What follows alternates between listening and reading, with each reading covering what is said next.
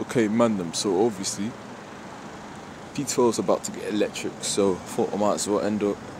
I thought, I'm, nah, I'm, nah, nah, nah. I'm not ending it off, but we're gonna take, we're gonna ride the P12 in it. So yeah, because these SEs, they're cool buses, man.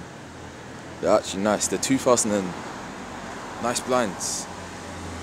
Looking old. Oi, oi, look at the vandalism. 2457. That's the thing I kept talking about. That's the thing I keep talking about, man. 2457. Look how look how vandalized that thing is, fam. Sorry for the voice crack. Look how vandalized that thing is. Oh my days. Nice plate on LTZ 1457. It's got the blue bit for once. LT457, yeah. Oh my days, the vandalism on that thing, man. It actually looks good, man. I don't care what anyone says. I actually rate that still. If I want, if I want, if I want recording buses and filming them, yeah, I would probably vandalize them.